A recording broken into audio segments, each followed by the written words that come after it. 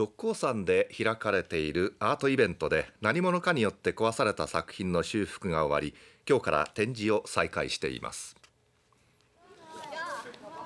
展示が再開したのは六甲山上で開かれている現代アート展六甲ミーツアートに出展された動物たちも景色を見ているです。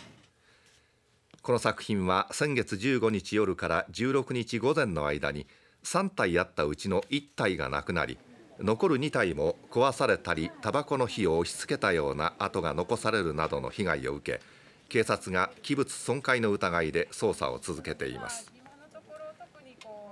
展示再開を望む声も多く上がる中制作者の笠井祐介さんはおよそ3週間かけ作品を修復。訪れた市民は写真に収めるなどして楽しんでいました。綺麗になったやつを見れてすごい可愛くてあのね。見れてよかったです、うん、よかったです。改めてあの2度目の来場しましたというお客様もいたりとても温かい言葉をいろいろいただいていてもう本当にとても感謝しています。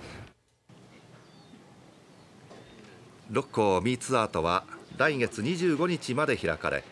この作品は夜間屋内に収容して保管するということです